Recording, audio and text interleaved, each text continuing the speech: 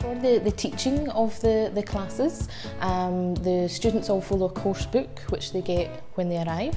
Each week they have a test. Um, the teachers can see and keep an eye on them to see if they will move up to the next level.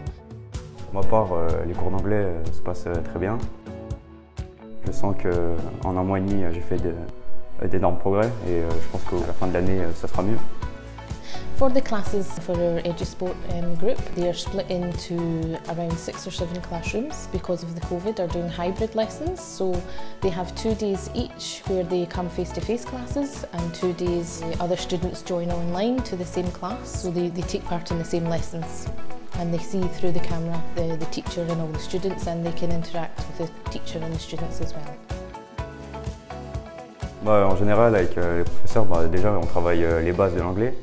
Et euh, le prof euh, qu'on a euh, est hyper sympa parce qu'il fait ses cours par rapport à notre section sportive qui est le foot. Je trouve ça hyper génial.